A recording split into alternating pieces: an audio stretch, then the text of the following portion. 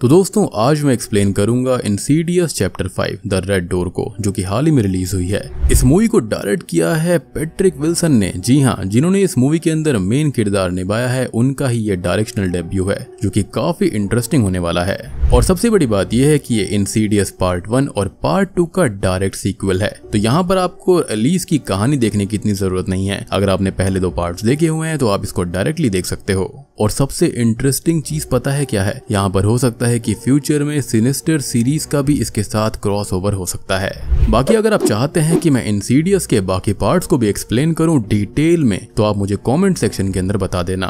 दस हज़ार लाइक्स कर देना इस वीडियो के ऊपर। तो चलिए, अब बिना किसी देरी के चलते हैं सीधा वीडियो की तरफ़।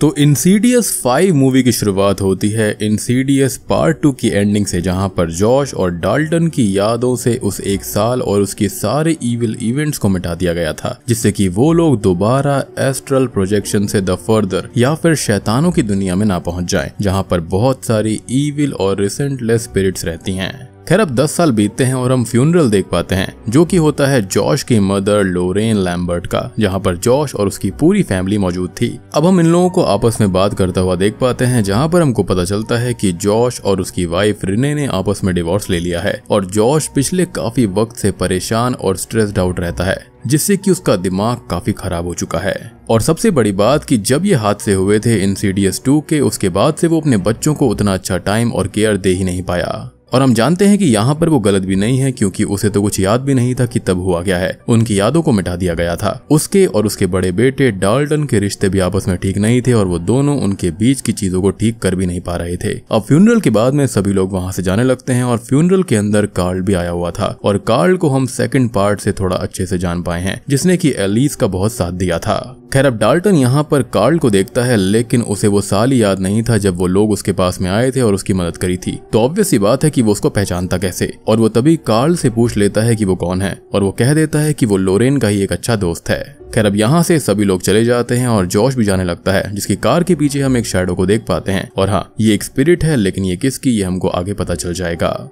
अब जॉश यहाँ पर डाल्टन को उसके कॉलेज छोड़ने जाता है, और उनके बीच के रिश्ते पहले ही खराब थे, और उनके बीच में छोटी मोटी नोकझोंक हो जाती है। ये लोग यहाँ पर कॉलेज पहुँचते हैं, जहाँ पर डाल्टन ड्राइंग आर्ट्स पढ़ने वाला था। अब डाल्टन को उसके रूम में छोड़ते टाइम जॉश उससे बात करने लगता है और डाल्टन ने रिसेंटली ही लोरेन की एक ड्राइंग बनाई थी जिस पर जॉश बोलता है कि डाल्टन ने कभी उसे ड्रॉ नहीं किया और वो तो फ़िलहाल उसके पास भी है। उसने अपने बच्चों के लिए कितना कुछ किया है, जबकि उसके खुद के डैड उसके साथ नहीं थे जिन्होंने जॉश के बचपन में ही खुद को खत्म कर लिया था, जो की इस कहानी के अंदर एक नया टेक है, यानी की एक नई कहानी यहाँ पर जुड़ गई। खैर, अब डाल्टन अपने पिता की बातों पर ज़्यादा ध्यान नहीं देता और उनकी काफ़ी बहस हो जाती है, जिससे की जॉश वहाँ से चला जाता है। अब रूम के अंदर दो लोगों को रहना था और डाल्टन के साथ क्रिस नाम की एक लड़की रूम शेयर करती है, जो कि रूम चेंज करने की रिक्वेस्ट डाल देती है। लेकिन चेंज होने में कम से कम एक दिन का वक्त लगने वाला था तो आज रात उसको वहीं पर रुकना पड़ता। खैर, अब जॉश कॉलेज से बाहर आ जाता है, वो बहुत ही दुखी था और उन्हें लगता है, क्योंकि उसके साथ में जो हो रहा था, वो डिजर्व नहीं करता था। अब इधर डाल्टन और क्रिस आपस में बात करने लगते हैं, जहाँ पर बातों ही बातों में डाल्टन उसको बताता है कि उसे दस साल पहले का एक साल बिल्कुल भी याद नहीं है। जो कि उसे बहुत ही ज़्यादा अजीब लगता है और उसे अब अंधेरे से भी डर लगता है। खैर, अब अगले दिन जॉश डाल्टन को मैसेज करता है, जिसके अंदर वो कहता है कि डाल्टन की बात को वो समझता है और वो भी नहीं समझ पा रहा कि उसे हुआ क्या है और वो जल्दी ही सब कुछ पता कर लेगा कि ये सब क्यों और कैसे हो गया। खैर, तभी हमें डाल्टन को दिखाया जाता है जो कि अपनी आर्ट्स क्लास में था और वहाँ पर वो अपनी टीचर को लोरेन की ड्राइंग दिखाने वाला था, लेकिन उसको लगता है कि अच्छी नहीं होगी तो वो उसको फाड़ देता है। तभी उनकी प्रोफेसर सबको उनके मन के अंदर दबे हुए ख्यालों से ड्राइंग करने को बोलती है और डाल्टन अपने मन में झाँक कर एक ड्राइंग बनाता है। और ये ड्राइंग होती है एक डोर की। और ये डोर द फर्दर का वो डोर है जहाँ से डीमंस उनके पास आ सकते हैं। खासकर की वो लिपस्टिक फेस डीमन जो की पहली मूवी और इस पूरी सीरीज़ का ही मेन एंटेगनिस्ट है, यानी की ईविल है। खैर, तभी डाल्टन को उस डीमन का हाथ हॉन्ट करता है और जॉश को भी अपने नाइट में वही रेड डोर दिखाई देता है। यानी कि यहाँ पर सारी चीज़ें आपस में जुड़ी हुई थी। अब डाल्टन की ड्राइंग में थोड़ा सा खून लग जाता है तो वो उसको थोड़ा सा फैलाता है, जिससे कि वो डोर लाल हो जाता है। और हम समझ पाते हैं कि यहाँ पर कहानी उसी रेड डोर के बारे में होने वाली है। और यहाँ पर सबसे बड़ी बात यह है कि जॉश और डाल्टन दोनों को ही वो साल याद नहीं है, यानी कि इंसीडियस वन और इंसीडियस टू के सारे हादसे उनको याद ही नहीं थे, क्योंकि ऑब्वियस ही बात है उनको भुला दिया गया था।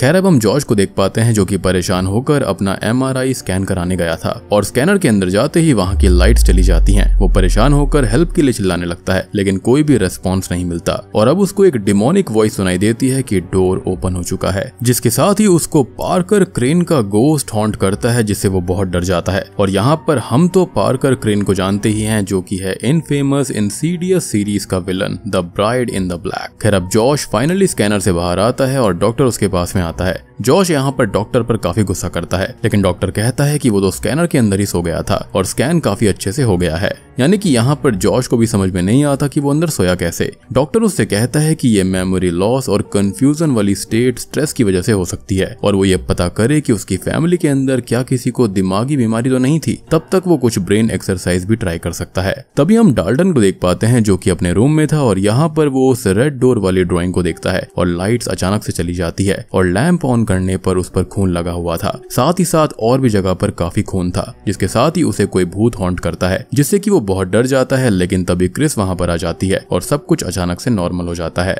खैर, अब क्रिस अपना सामान लेने आई थी, जिसे नया रूम मिल चुका था, और वो डाल्टन से बात करने लगती है और मस्ती करने के लिए वो उसको एक पार्टी में ले जाती है। यहाँ डाल्टन और वो एक रूम में आते हैं और वो कुछ काम से बाहर चली जाती है, और डाल्टन को एक लड़के की स्पिरिट दिखाई देती है, जो की रिसेंटली ही मारा गया था, और वो डाल्टन से कहता है की वो उसे रोक दे और डोर बंद कर दे, लेकिन डाल्टन ये बात समझ नहीं पाता की वो बोलना क्या चाहता है। खैर वो गोस्ट उसे और हॉन्ट करता है, लेकिन तब तक क्रिस वहाँ पर आ जाती है, और वो लोग हॉस्टल के लिए निकल जाते हैं। अब हॉस्टल आकर डाल्टन उसी रेड डोर की ड्रॉइंग को पूरी करने लगता है उसके पीछे के रहस्य को जानने के लिए। तभी वो अपनी आँखें बंद करता है और अनजाने में एस्ट्रल प्रोजेक्शन करने लगता है और हॉस्टल के अंदर ही घूमते हुए क्रिस के रूम तक आ जाता है। यानी कि उसकी स्पिरिट यहाँ वहाँ घूम रही थी और उसकी बॉडी वहीं पर थी और वहाँ पर रखा हुआ इंस्ट्रूमेंट वो प्ले करता है जिससे की क्रिस जाग जाती है और अचानक से ही डाल्टन की स्पिरिट अपनी बॉडी में वापस आ जाती है जिससे की वो जाग जाता है। खैर, अब क्रिस उसके पास में आती है और पूछती है की वो क्या कर रहा था। इस पर वो कहता है की उसे भी नहीं पता कि अभी क्या हुआ है। वो सपने जैसी जगह में गया था, लेकिन वो सपना नहीं था। और उसे लगता है कि या तो वो किसी चीज़ के करीब जा रहा था, या फिर कोई चीज़ उसके करीब आ रही थी। अब तभी हम जॉश को देख पाते हैं, जो कि अपने घर पर था और यहाँ पर उसे कोई स्पिरिट हॉन्ट करती है। या फिर यूँ कहें कि उसके पास आने की कोशिश करती है, लेकिन वो तुरंत ही गायब भी हो जाती है। और हम जानते हैं कि इन दोनों के पास में ही एक गिफ्ट है, जो कि है एस्ट्रल प्रोजेक्शन का। ये जैसे ही अपनी आँखें बंद करते हैं, ये पहुँच जाते हैं द फर्दर में। यानी कि एक ऐसे डायमेंशन में जहाँ पर ढेर सारी स्पिरिट्स और डीमंस रहते हैं। खैर अब उसे एक बॉक्स मिलता है जिस पर किसी का नाम लिखा हुआ था और वो उसको ओपन करके देखता है। तो इसके अंदर उसकी मदर और उसके डैड की फ़ोटोज़ थी। और जिस स्पिरिट ने उसको हॉन्ट किया था ना, वो उसके फादर की ही थी। और जैसा की मैंने कहा था की उसको रिफ्लेक्शन में एक स्पिरिट दिखाई दी थी तो वो कोई और नहीं, वो उसके डैड की ही स्पिरिट थी।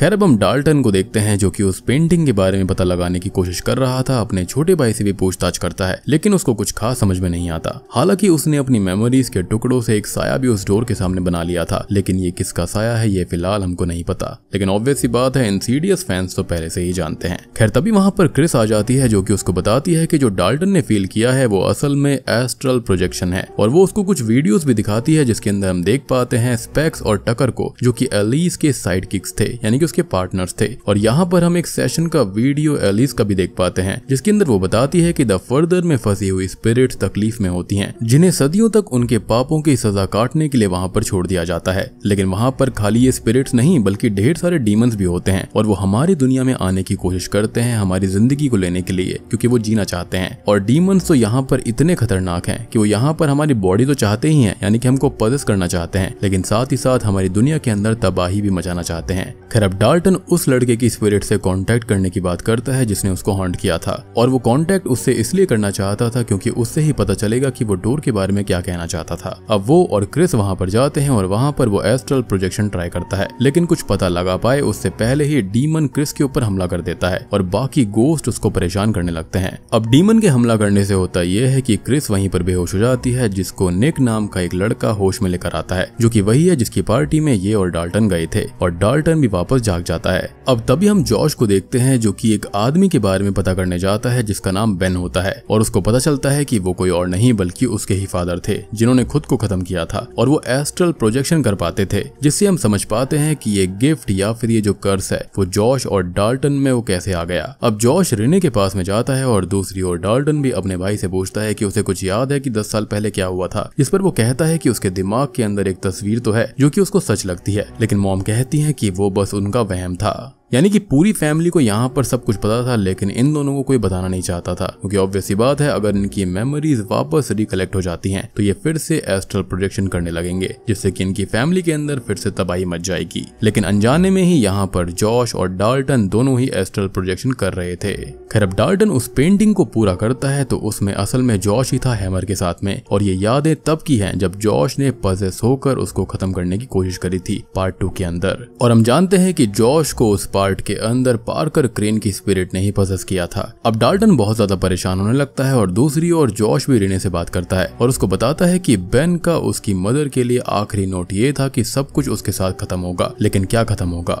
इस बात को वो नहीं जानता है। खैर, अब हार कर उसकी बीवी रिने उसे सब कुछ बता देती है जो की पहले हुआ था। उसने क्या किया था? उसके साथ में क्या हुआ था? सब कुछ बता देती है। अब ये सब सुनकर वो बहुत दुखी हो जाता है कि उससे ये सब छुपाया गया था। हालाँकि रिने बताती है कि ये सब कुछ रोकने के लिए था। उसकी यादों को दबाना ज़रूरी था और वो बच्चों को नहीं समझा पा रही थी कि क्या हुआ है और झूठी कहानियाँ भी नहीं बना पा रही थी और इसलिए ही वो लोग अलग हो गए थे। खैर, अब तभी वहाँ पर डाल्टन का छोटा भाई फॉस्टर आ जाता है और डाल्टन की बनाई हुई पेंटिंग को देखता है जिसके अंदर पजेस्ड हालत में जॉश था। अब हम डाल्टन को देखते हैं जो कि एस्ट्रल प्रोजेक्शन में चला जाता है और अब वो उस वक्त को देखता है जब जॉश पजेस होकर सबको मारने वाला था और तब यंग डाल्टन अपने रियल फादर जॉश की सोल को द फर्दर से वापस लाने के लिए एस्ट्रल प्रोजेक्शन में जाता है और उनको ढूँढने लगता है। ये सब हमने पार्ट टू के अंदर देखा था। और यहाँ पर पजेस हुआ जॉश उसको खत्म करने ही वाला होता है। और इंसीडियस टू में तो एलिस उसको बचाती है। लेकिन यहाँ पर खुद टीन डाल्टन यंग डाल्टन को बचाता है। आपको याद होगा कि बीच बीच में मूवीज़ के अंदर कुछ वियर्ड सी मूवमेंट्स होती हैं। यानी कि जब ये लोग एस्ट्रल प्रोजेक्शन के अंदर जाते हैं तो यहाँ पर टाइम मैनुपुलेशन भी होता है। और हम बहुत ही वियर्ड सी मूवमेंट्स को देख पाते हैं, जिसके बारे में कोई भी समझ नहीं पाता। तो यहाँ पर ये वही है। जैसे कि यहाँ पर एलिस ने एक लड़की को बचाने के चक्कर में ये रेड डोर ओपन कर दिया था और उसको ऐसे ही छोड़ दिया था, जिसके चलते ही यहाँ पर बचपन में यंग डाल्टन पजेस हो गया था। और इस मूवी के अंदर टाइम का बहुत ही ज़्यादा मैनुपुलेशन किया जाता है। लाइक आप बहुत ही पुराने मूवमेंट के अंदर भी जा सकते हो। खैर, अब वो खुद को किसी अजीब सी जगह पर पाता है और यहाँ पर उसकी मेमोरी से जुड़ी बहुत सी चीज़ें थी जिससे उसे उस साल का सब कुछ याद आ जाता है। अब हम उसी डीमन को देख पाते हैं जिसने यंग डाल्टन को भी पकड़ा हुआ था और वो डीमन उसके सामने आकर खड़ा हो जाता है, जिससे की वो जाग जाता है। लेकिन यहाँ पर असल में हुआ ये था कि उस डीमन ने फाइनली डाल्टन की बॉडी को ही ले लिया था, जो की वो हमेशा से चाहता था। और अब तभी वहाँ पर क्रिस भी आ जाती है, जिससे की वो डीमन खत्म करने की तैयारी करने लगता है। तभी हम जॉश को देख पाते हैं जो कि एस्ट्रल प्रोजेक्शन में जाता है और डाल्टन को ढूँढने लगता है, क्योंकि अब भी उसको ही अपने बच्चे को बचाना होगा। वो डाल्टन को ढूंढता है जो कि उससे कहता है कि उसने सबको मारने की कोशिश करी, लेकिन जॉर्ज क्लियर करता है कि उसने किसी को नहीं मारा था, ना ही उसने ऐसी कोई कोशिश करी थी। और जो कुछ किया था या फिर करवाया, वो डीमंस ने करवाया था, जो की डाल्टन को भी कंट्रोल कर सकते हैं, इसलिए उन्हें यहाँ से निकलना पड़ेगा। बेसिकली यहाँ पर डाल्टन की रियल स्पिरिट को अपनी बॉडी के अंदर वापस जाना होगा, ताकि वो डीमन वहाँ से बाहर निकलकर अपनी दुनिया में चला जाए? खैर, अब वो लोग वहाँ से भागने लगते हैं और रेड डोर के बाहर निकल जाते हैं और जॉश डोर को होल्ड करके रखता है कि उन्हें यहाँ पर सब कुछ रोकना पड़ेगा, जिस पर डाल्टन कहता है कि वो नहीं रोक पाएँगे। लेकिन जॉश कैसे भी करके डीमन को यहीं पर रोकेगा और वो डाल्टन को यहाँ से जाने का बोलता है। यहाँ पर डाल्टन की बॉडी पोजेशन में क्रिस पर हमला करती है और यहाँ पर और भी बहुत सारे भूत आ जाते हैं। लेकिन अब तक डाल्टन की स्पिरिट उसकी बॉडी में वापस आ गई थी और वो होश में आ जाता है। अब तभी हम जॉर्ज को देख पाते हैं जो कि पूरी कोशिश करते हुए उस डोर को होल्ड कर रहा था और ये कहता भी है कि ये सब उसके साथ ही खत्म होगा। और ऐसा ही उसके फादर ने कहा था। मीन्स उन्होंने भी कभी ना कभी ये सब रोकने की कोशिश करी होगी। और हम जानते हैं कि उनको भी इसी डीमन ने मारा होगा। और हमने उनकी स्पिरिट को जॉश के पास आते हुए भी देखा था। तो वो असल में उसको बचाने उस जगह पर आए थे। यानी कि वो उसको आगाह कर रहे थे कि वो वहाँ पर ना जाए। और मेरे ख्याल से उसके डैड बेन को ये लगा होगा कि अगर वो खुद को खत्म कर लेंगे तो शायद से उसके बच्चे बच जाएँगे। लेकिन ऐसा नहीं हुआ। ये चीज़ जो थी वो उसके बच्चों के अंदर भी इनहेरिट हो गई थी। खैर वो डीमन डोर तोड़ने लगता है और वो बाहर आने ही वाला होता है। लेकिन अब तभी डाल्टन अपनी बनाई हुई पेंटिंग के डोर पर ब्लैक पेंट करने लगता है, जिससे कि वो डोर यहाँ पर द फर्दर के अंदर भी बंद होने लगता है, क्योंकि वो उसने ही ओपन किया था। और ये डोर जो है वो भूलने से बंद नहीं होने वाला था, बल्कि याद रखने से ही बंद होने वाला था, और जब तक वो उसको बंद रखना चाहे, वो रख सकता था। अब जैसे ही डाल्टन अपनी पूरी की पूरी पेंटिंग को रंग देता है तो उसके बाद में क्रिस उसको बोलती है कि उसे इस पेंटिंग को जलाना होगा। लेकिन डाल्टन बोलता है कि इसको अपने पास सेफ़ रखना होगा। इसको महफूज रखना होगा ताकि ये फिर से ओपन ना हो पाए। यानी कि इनकी मेमोरीज को मिटाना बिल्कुल भी सही नहीं था और यहाँ पर जो एलिस थी उसने ये काम गलत किया। या फिर ये कह सकते हैं कि उसने फ्यूचर देख लिया होगा। खैर, अब तभी जॉश भी वापस अपनी दुनिया में आ जाता है और सब कुछ ठीक हो गया था और डाल्टन के साथ उसके रिश्ते भी अच्छे हो गए थे। और फाइनली डाल्टन ने जॉश की पेंटिंग बनाई थी, जिसके अंदर पहली बार जॉश डाल्टन को द फर्दर से बचाकर ला रहा था और ये देखकर यहाँ पर जॉश बहुत खुश होता है। खैर, अब जॉश जैसे ही बाहर आता है तो उसको यहाँ पर एलिस की स्पिरिट दिखाई देती है, जो की उसको कहती है की उसने काफ़ी अच्छा काम किया और उनका फ्यूचर काफ़ी ब्राइट है। लेकिन बस उसको एक बात का ध्यान रखना होगा कि वो एस्ट्रल प्रोजेक्शन करते हुए कहीं फर्दर में बहुत ज़्यादा दूर न चला जाए। खैर, अब तभी हम एक पोस्ट क्रेडिट सीन में देख पाते हैं जहाँ पर वही डोर हमको दिखाई देता है जिसके आसपास कुछ हलचल होती है। यानी कि यहाँ पर ये चीज़ अभी खत्म नहीं हुई है। और अब ये डीमन और सारी की सारी स्पिरिट्स उस इंसान को ढूंढेंगी जो कि यहाँ पर एस्ट्रल प्रोजेक्शन कर पाएगा। और बूम इसी के साथ में ये मूवी यहीं पर खत्म हो जाती है। तो दोस्तों, ये थी Insidious chapter five the red door movie की कहानी। उम्मीद करता हूँ कि आपको ये पसंद आई होगी। अब देखो, मैं अपनी पर्सनल बात करूँ ना तो यहाँ पर कहानी को ना ये लोग काफ़ी स्ट्रेच कर रहे हैं। अब हो सकता है कि यहाँ पर पेट्रिक विल्सन को इस कहानी से काफ़ी ज़्यादा प्रेम होगा, जिसके चलते उन्होंने अपना डायरेक्शनल डेब्यू किया है। लेकिन हाँ इस कहानी के अंदर एक चीज़ बढ़िया है, की हमको एटलीस्ट ये पता चल गया की इन लोगों के पास में ये गिफ्ट आया कहाँ से था। लाइक पहली मूवीज़ के अंदर बेन के बारे में कभी भी कोई डिस्कशन नहीं किया गया, यानी कि जॉर्ज के फादर के बारे में कुछ भी बताया नहीं गया था। अब देखने वाली बात यह होगी कि उनकी कहानी क्या है। तो हो सकता है कि यहाँ पर एक और प्रिक्वल आ सकता है जो कि प्रॉपर पार्ट वन और पार्ट टू का प्रिक्वल होगा। या फिर ये कहें कि पार्ट वन पार्ट टू और पार्ट फाइव का प्रिक्वल होगा, जहाँ पर हम बेन की कहानी को देख पाएँगे कि उसको ये गिफ्ट कैसे मिला और ये डीमन उसके पीछे कैसे आया। लाइक यहाँ पर और भी कोई डीमन आ सकता था, लेकिन यही रेड डीमन यहाँ पर इनके परिवार के पीछे क्यों पड़ा हुआ है? और अब आप ये सोचोगे कि एलिस के पीछे भी ये डीमन क्यों पड़ा था तो ऑब्वियस सी बात है उसने रेड डोर को भी ओपन किया और वो बंद करना भूल गई थी। साथ ही साथ यहाँ पर ये डीमन जानता था कि एलिस के पास में शक्तियाँ हैं और वो उसको रोक सकती है, जिसके चलते ही वो उसको खत्म करना चाहता था। लेकिन उससे पहले ही पार्कर क्रेन की स्पिरिट ने उसको मार दिया। और ये भी हो सकता है कि डीमन के कंट्रोल में आकर उसने ऐसा किया होगा, क्योंकि कहानी यहाँ पर कैसे भी कुछ भी हो सकती है, क्योंकि कहानियाँ यहाँ पर काफ़ी वियर्ड तरीके से जुड़ती जा रही हैं। तो उम्मीद करता हूँ कि आपको ये वीडियो पसंद आई होगी, मूवी पसंद आई होगी। बाकी आप लोग मुझे बताना कि अगर आपने इस मूवी को देखा तो आपको ये फ़िल्म कैसी लगी? और आपको क्या लगता है कि यहाँ पर ये जो पार्ट है, यानी कि चैप्टर फाइव है, ये नीडेड था या फिर इसको बस ऐसे ही बढ़ा रहे हैं? यानी कि ज़बरदस्ती स्ट्रेच कर रहे हैं इन के नाम पर। लेकिन हाँ इतना तो है की वन टाइम वॉचेबल ज़रूर है। वैसे भी हम जानते हैं कि अच्छी हॉरर मूवीज़ आजकल काफ़ी कम आ रही हैं तो जाकर ज़रूर देखना इस मूवी को। और मेरा ना इस मूवी को लेकर काफ़ी मिक्स्ड ओपिनियन है। मैं यहाँ पर ना ही बहुत बुरा कह सकता हूँ, ना ही बहुत अच्छा कह सकता हूँ, क्योंकि मैं इंसीडियस सीरीज़ का काफ़ी बड़ा फ़ैन हूँ। और मेरे लिए ऐसे में इस फ़िल्म की बुराई करना काफ़ी मुश्किल हो जाता है। तो उम्मीद करता हूँ कि वीडियो पसंद आई होगी, पसंद आई है तो वीडियो को लाइक कर देना चैनल के ऊपर नए हैं तो सब्सक्राइब कर लीजिए। तो मैं आप सबको मिलता हूँ अगली वीडियो के साथ में, तब तक के लिए, Stay